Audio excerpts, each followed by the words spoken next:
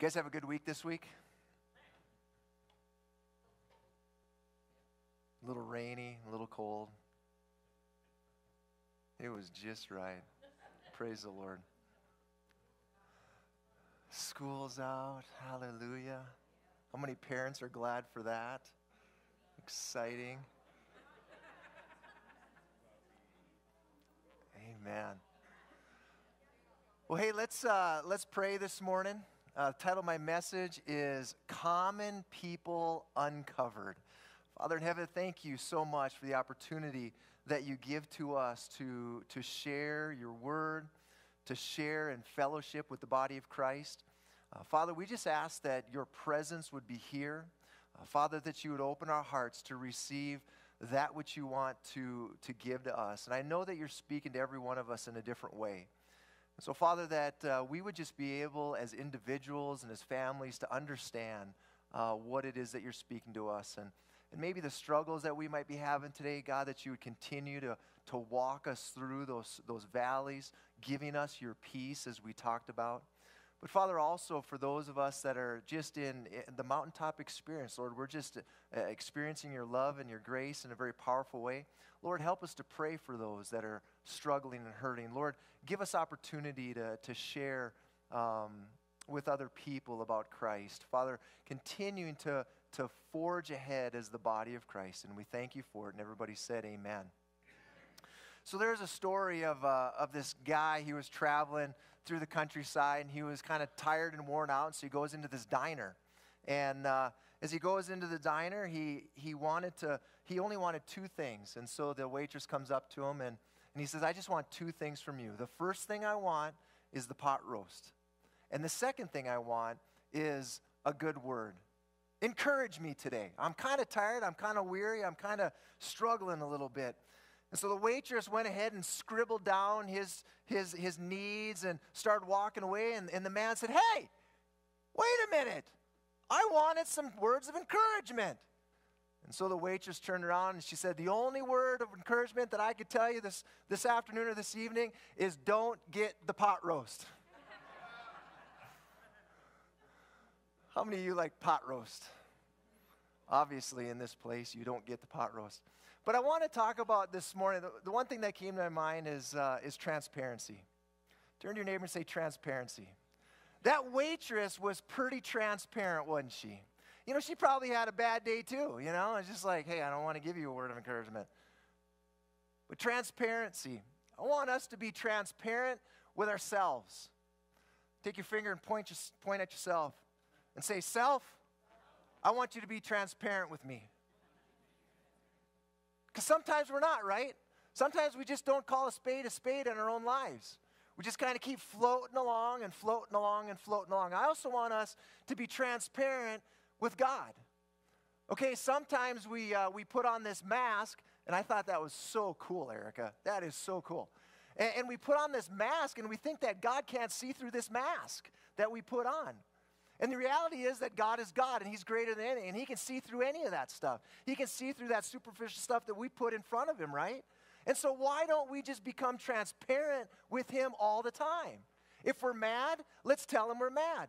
If we're struggling with sin, let's tell Him we're struggling with sin. If we're not, let's tell Him we're not. Let's be joyous, whatever it is, but let's be transparent. Turn your neighbor and say, transparent. And why do we do this? Why do we, why do we want to be transparent? It's because we want to express the glory of God. Our function as the church is to express the glory of God. And if we can't be transparent in all those ways, I don't know if we'll be able to, to, uh, to express the glory of God. In my opinion, the greatest quality of a disciple of Jesus Christ is to be transparent. Now, there's a commercial uh, and, and this company has, has done several little uh, 30 second commercials on transparency, and I want you to watch one of them. I've had a wonderful time tonight. Me too. Call me tomorrow? I'm going to send a vague text in a couple days that leaves you confused about my level of interest. I'll wait a full two days before responding. Perfect.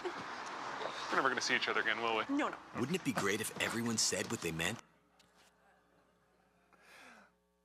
Wouldn't it be great if everyone said what we meant? There's another one that I wanted to use where they're, uh, they're doing some remodeling in the home, and uh, the contractor comes in and says, says uh, You know, I'm just going to rip out this wall that doesn't need to get ripped out, and that's going to cost you a whole lot more money. How many of you seen that one before?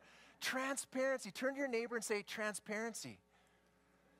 Husbands, are you transparent with your wives? Wives, are you transparent with your husbands? Kids, children, are you transparent with your parents?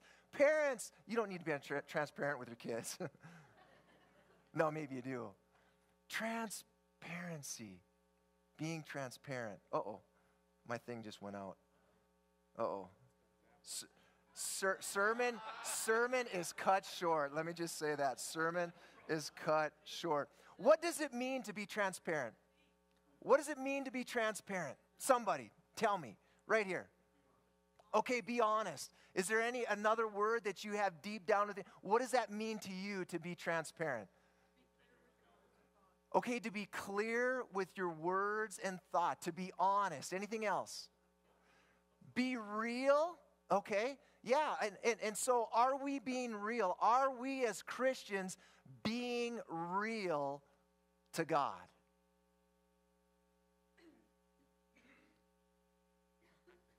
The definition that I found for transparency is, is having the property of transmitting light through. A window is transparent, it allows the light to come through. John chapter 8, verse 12 says this Then Jesus spoke to them again, saying, I am the what? Light of the world. He who follows me shall not walk in darkness, but have light. And that's what, that's what I'm talking about this morning is, is allowing our lives to be transparent and the light of Christ to come and shine in our lives. You know, in, in, uh, in Israel's day and time, they made pots, uh, pottery. And uh, they were so fragile that the, when the light shone, you could almost see through. It exposed the cracks and the, the, the imperfections of that pottery. And so, what I'm, at, what I'm asking us to consider is that we allow the light of Christ to come and expose us as pottery, right? He is the potter, we are the and so to come and just expose the cracks so that we can display Christ after we repent of sin or whatever it might be. Maybe we're having a bad day and we're in the funk. We're in a season of funk. How many are there? You're just in a season of funk. And you need the light of Christ to come and shine on you. Light will always reveal the cracks and breaks in our lives. Can you say, Oh, me? You guys aren't tired this morning, are you? No? You're just excited? You're tired? Yeah. And, hey, hey, parents, can you do something about that? Maybe get them, get them bed at night? He is just being honest and transparent. Bless you. if you and I are not willing to be transparent, allowing the light of Jesus Christ to come into our lives and, and expose those cracks, we're going to fail to express the glory of God. And so I want to look at 2 Corinthians chapter 3, verse 18. Probably going to back up just a few verses, but um, 2 Corinthians chapter 3.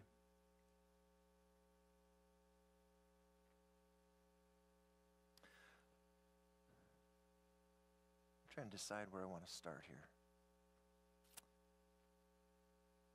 Let me just start in verse 7. But if the ministry of death, written and engraved on stones, was glorious, so that the children of Israel would not look steadily at the face of Moses because the glory of his countenance, which glory was passing away, how will the ministry of the Spirit not be more glorious? For if the ministry of condemnation had glory, the ministry of righteousness exceeds much more in glory. For even what was made glorious had no glory in this respect, because the glory that excels. For if what is passing away was glorious, and this is talking about the old covenant. Lost my place. For even what was made glorious had no glory in it in this respect, because the glory that excels. For if what is passing away was glorious, what remains is much more glorious. Therefore, since we have such hope, we use great boldness of speech. Unlike Moses, who put a what? Veil over his face so that the children of Israel could not look steadily at the end of what was passing away. But their minds were blinded, for until this day the same veil remains unlifted in the reading of the Old Testament because the veil is taken away in Christ. Can you say amen? But even to this day, when Moses is read, a veil lies on their heart, talking about Israel. Nevertheless, when one turns to the Lord, the veil is taken away. Now the Lord is the what spirit, and where the spirit of the Lord is, there is liberty. But we all, every one of us, with unveiled face, behold as in a mirror the glory of the Lord, are being transformed into the same image from glory to glory, just as by the Spirit of the Lord. The Spirit of the Lord is what makes a difference, church. The Spirit of the Lord is what makes the difference. I encourage all of us to read chapter 3, and we will understand that Paul compares the glory of God in the Old Testament to the glory of God in the New Testament. And he concludes that the glory of the Lord in the New Testament is way better than the glory of the Lord in the Old Testament. Now, why do I say that? Because the glory of the Lord in the New Testament is alive rather than dead. Can you say amen? It is alive rather than dead. The glory in the Old Testament was following what? The law. It was following the rules and regulations. I mean, if you wanted to get close to God, you had to do the yeses and the nos. I mean, what are, what are, are the commandments that God said Israel to follow, huh? What are they? Do not. Do not kill, do not steal, do not covet, obey your father and your mother. Oh.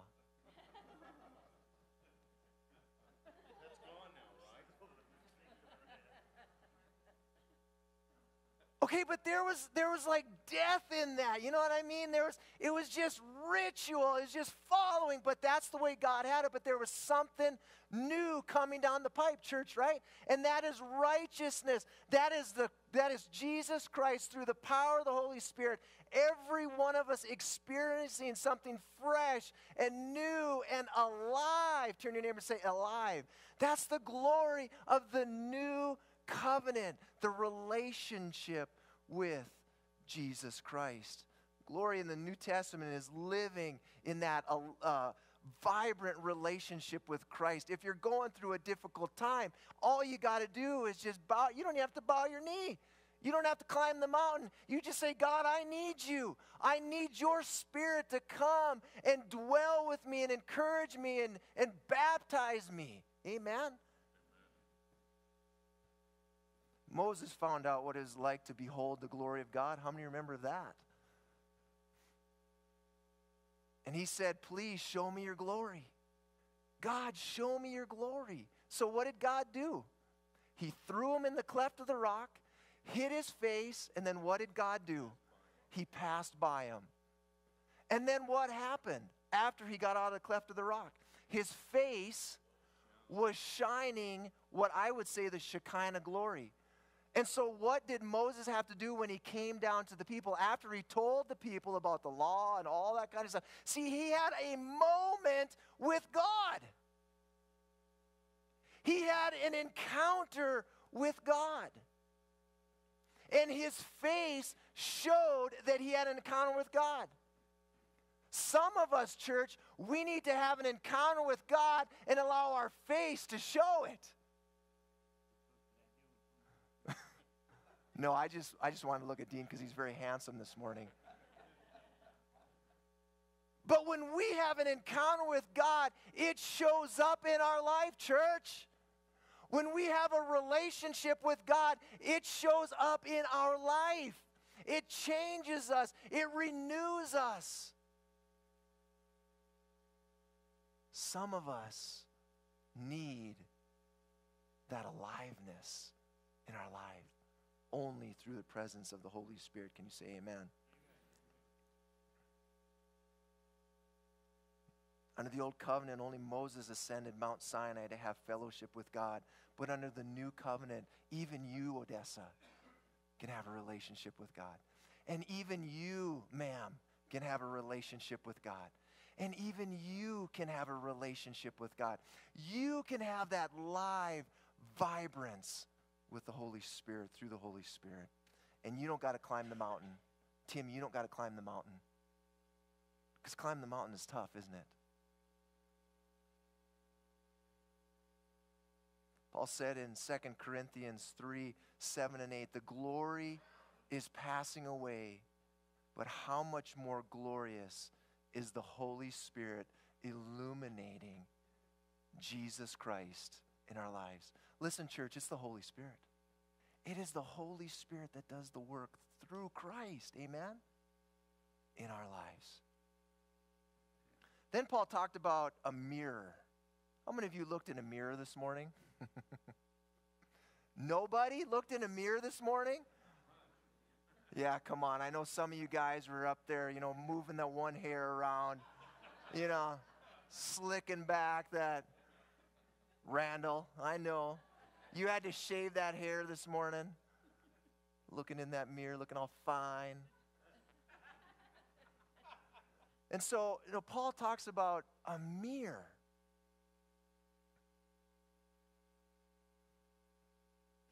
As we look into the mirror, what is the mirror? It's God's Word. When we look into that mirror, God's Word, we see Jesus Christ all over it. Can you say amen?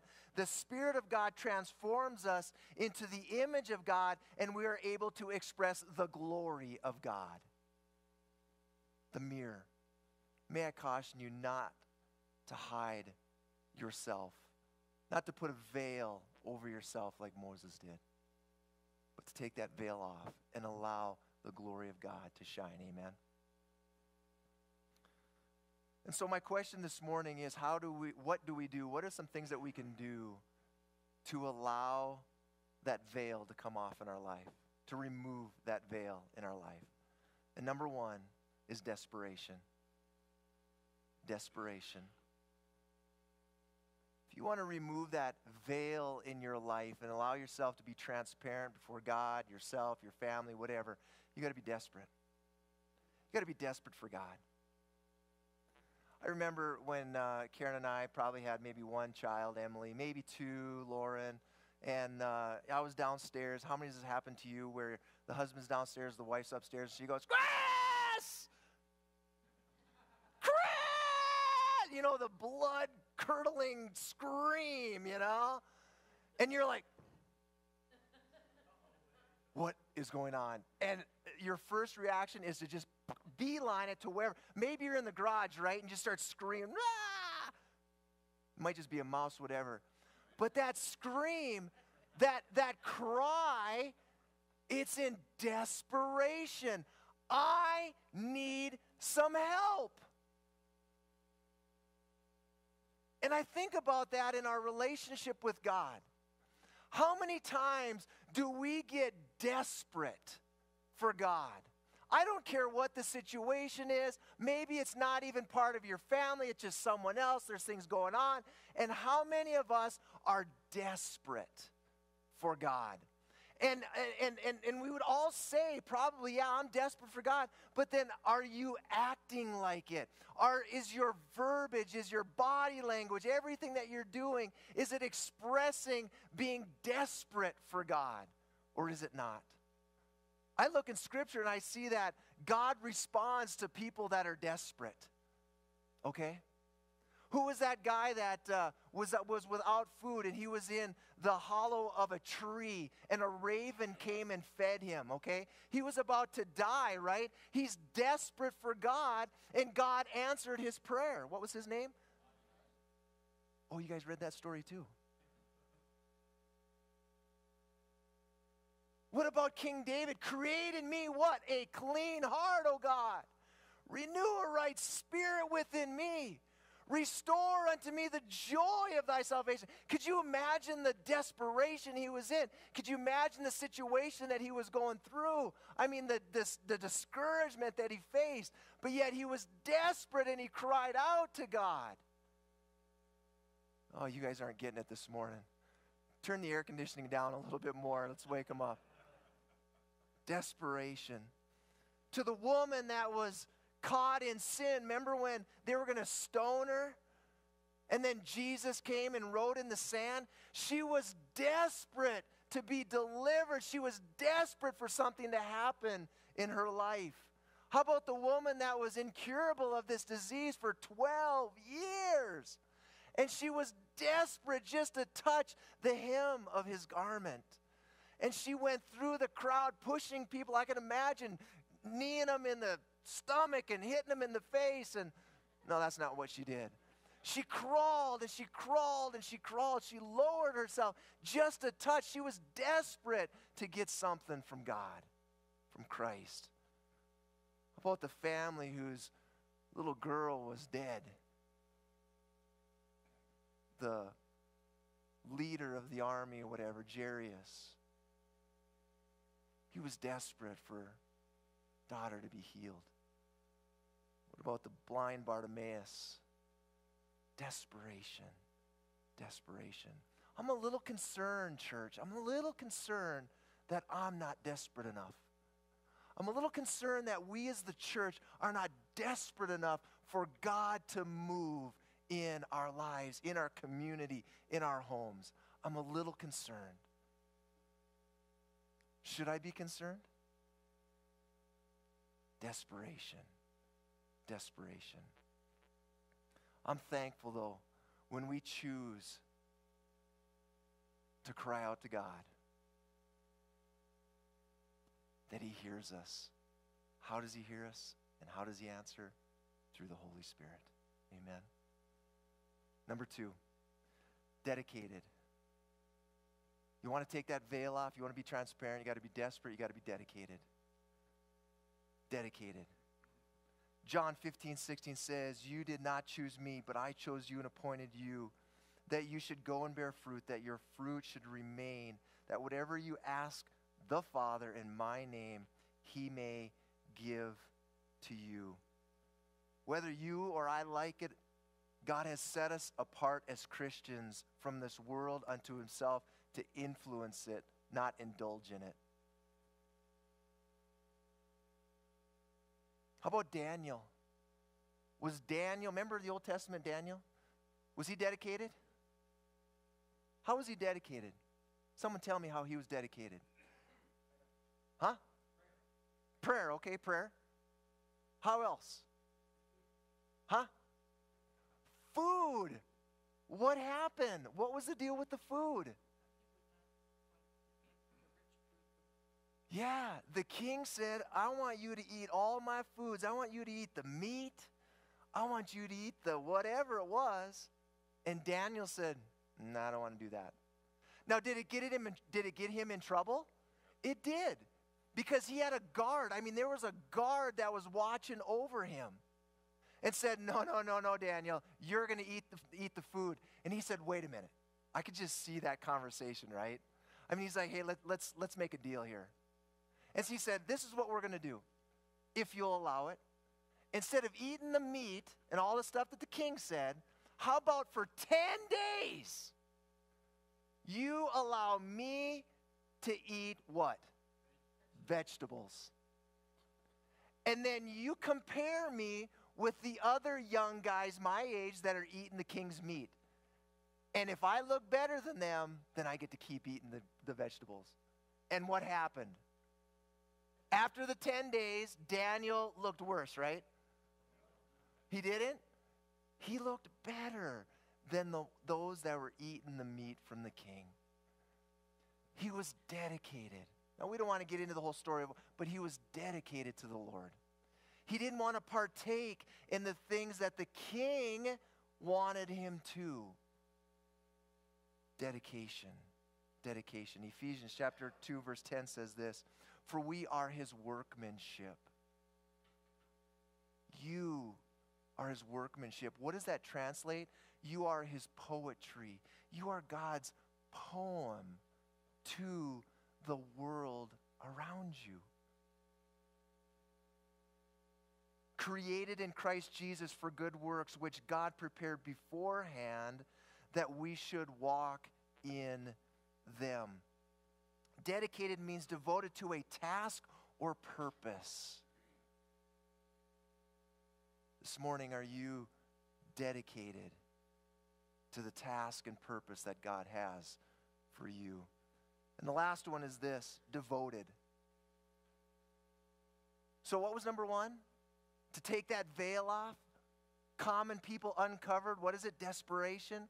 Number two is what? Dedicated. And number three is what? Devoted. Well, you say, Pastor Chris, that's the same thing. Dedication and devotion, it's the same thing. Not in my view, it's not. If you're dedicated, you're dedicated to a, a system, you're dedicated to the, the process. Devoted means that you are devoted to the person. Are you dedicated and devoted this morning? If you are devoted to something, you are reliable, loyal, faithful, committed, dependable, consistent, steadfast to a person. Husbands and wives. Oh, isn't that special?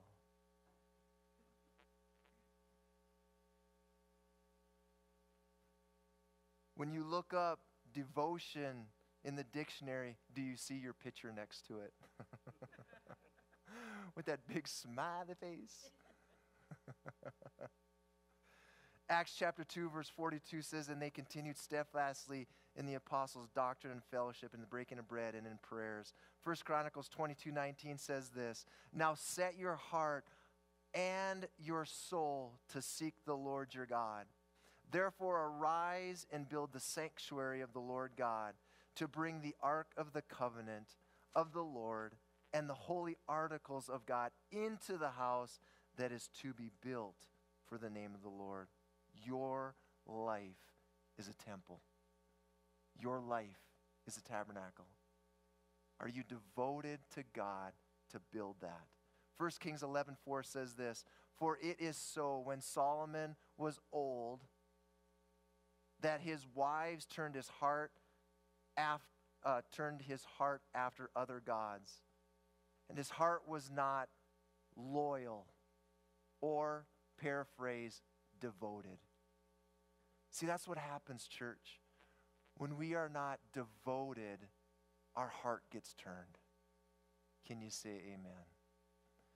It's for every one of us to be mindful of where we are in our relationship with the Lord. You want to uncover your soul and experience the glory of God? You got to be desperate. You got to be what? And you got to be what? John, would you come, please? Stand with me, please. Some of you are thinking, oh my goodness, he is done already? I know, I kind of surprised myself. We got a lot going on today, though, so you guys came at the right time, man. If you're a guest with us, you, man, you're like, whoa, this is amazing. I'm coming back to church. He only preaches 10 minutes. Where's John? Oh, there he is. Your team can come too if you want. Worship team, come on up here. Hallelujah. Yeah, that's devotion. Kind of serious business, though, you know what I'm saying?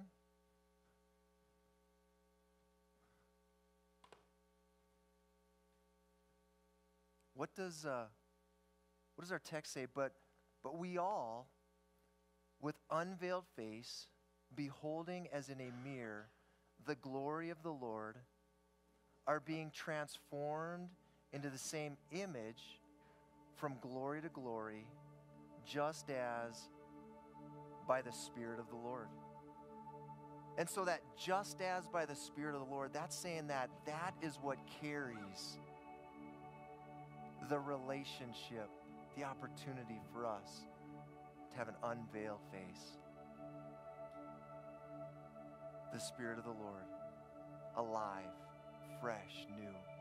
Maybe you're here this morning and, and you don't have a, an alive, fresh relationship with Jesus Christ or with God through Jesus Christ. The Bible just tells us that we got to surrender. Amen? We just got to surrender. Ask for forgiveness. Say, God, I've never really had this before, but I need something different in my life. I need something alive and vibrant. I wake up in the morning and I'm mad. I go to work and I'm mad. I come home and I'm even madder. I don't get along with people, whatever it is. Hallelujah. You guys got a song for us?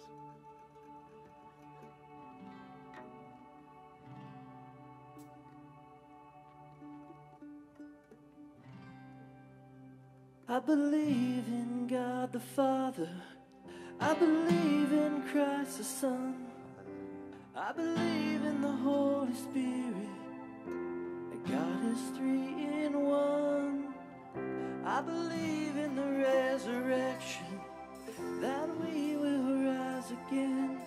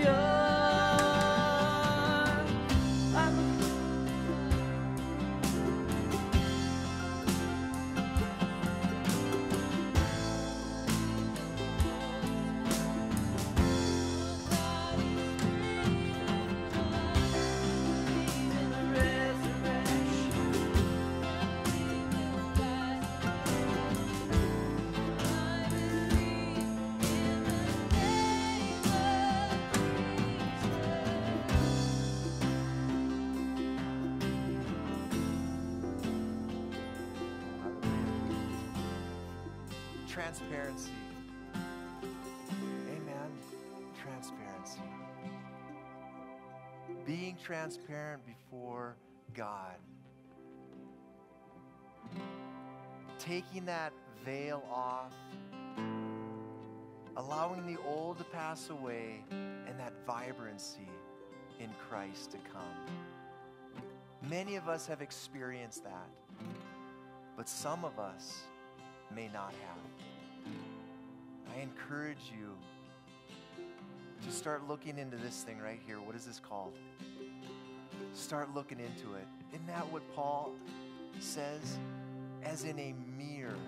Start looking at it, and it will transform. There'll be newness beginning to, to develop in your life. Amen. Father in heaven, thank you so much for your word this morning. Thank you, God, that there is life through your word. There's life through relationship with you, made possible by your Son, Jesus Christ. Father, I'm thinking of people this morning that are, are struggling in what I would say the joy of the Lord. Father, I struggle at times with the joy of the Lord in my life. Man, we just get so bogged down and, and our mind gets so switched to the things of this world problems, situations, whatever it is, and we start to fixate on that.